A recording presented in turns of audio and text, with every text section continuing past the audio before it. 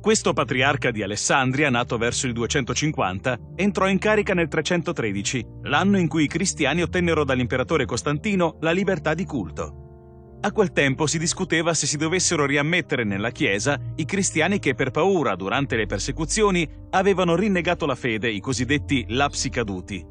Alessandro tenne a freno gli oltranzismi, cercando di mettere pace tra i duri e gli indulgenti ma il suo nome è legato soprattutto alla sua strenua difesa del dogma contro l'eresia di Ario, il quale nella sua concezione della Trinità sosteneva che il figlio è distinto dal padre non solo come persona, ma anche come sostanza, creato dal padre e a lui inferiore.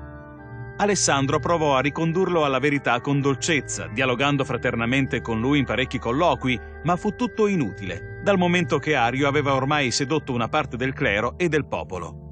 Verso il 320 Alessandro convocò un centinaio di vescovi di Egitto e di Libia per esaminare l'insegnamento dell'eretico, contro il quale fu pronunciato l'anatema. Ma costui, invece di sottomettersi, passò in Palestina cercando di screditare il patriarca e facendosi passare per perseguitato, riuscendo a convincere tra gli altri Eusebio di Cesarea ed Eusebio di Nicomedia. Quest'ultimo riunì due sinodi per riabilitare Ario.